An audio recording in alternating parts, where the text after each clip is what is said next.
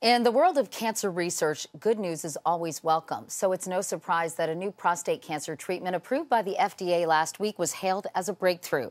Dendreon's Provenge vaccine harnesses the body's own immune cells to battle tumors, a new tool alongside surgery, radiation, and chemotherapy. After decades of research in this area, it's the first vaccine approved to treat cancer. Others, including a melanoma vaccine, may follow.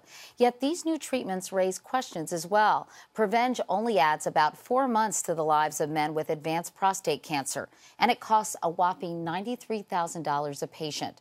That's one set of numbers, but consider these.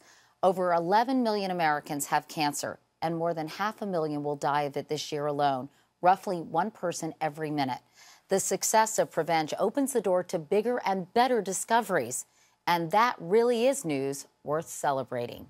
That's a page from my notebook. I'm Katie Couric, CBS News.